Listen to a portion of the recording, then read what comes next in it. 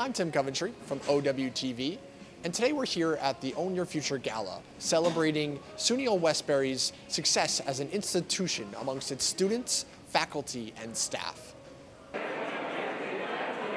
On Thursday, April 25th, 2024, at the Inn in New Hyde Park, under the leadership of President Timothy Sams, the Old Westbury College Foundation, in support of SUNY Old Westbury, held its first gala under the new administration. The gala went on to raise over $244,000, which will directly benefit student scholarships and support the expanding work of SUNY Old Westbury. Our mission is all about the student. It's like helping the students get what they need to graduate because we find our students want to do well, but as you know, it's not always easy. And so having advisement, having extra incremental scholarship dollars can make a huge difference. And we want them to have internships and career opportunities while they're in college so they can go directly into their careers.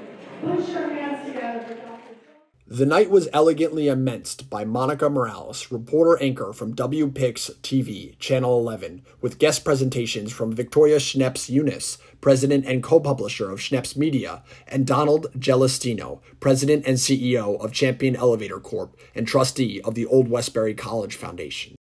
Well, you know, it is a state funded facility, and being state funded means that they're limited in their funding of programs of students, and without the public, which I'm part of the public, to be able to have the uh, opportunity to help get some students that may not ordinarily be able to get the, enough funding from the state that this is a hand you give. You know, it's like, that's why I called them angels tonight.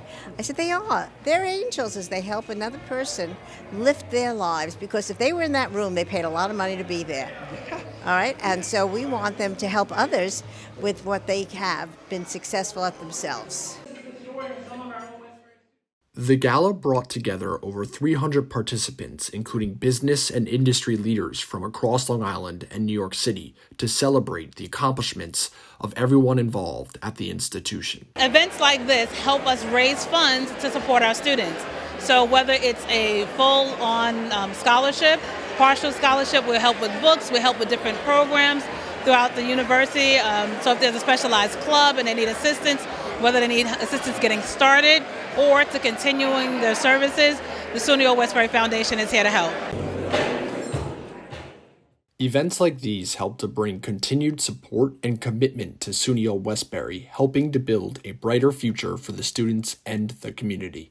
Throughout the night, we heard from industry leaders, faculty and staff, as well as students from SUNY Old Westbury, championing the university as an institution. From OWTV, I'm Tim Coventry.